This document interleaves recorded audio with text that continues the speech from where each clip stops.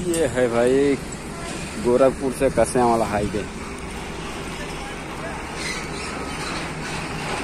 ये गोरखपुर से कस्या वाला हाईवे पे ये पलट गई है टेलर कोयला लेके। बीच हाईवे पे ही पलट गई है टेलर। गाड़ी देखिए किस रास्ते से आ रही है।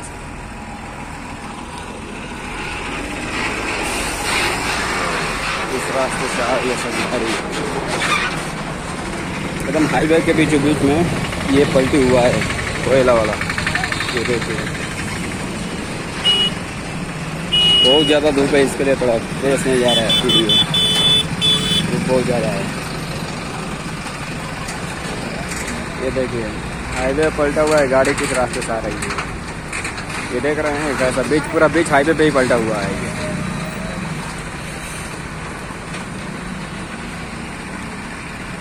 कितना लाइन लगाना पड़ रहा है। सिर्फ़ एक हाईवे बंद होने से।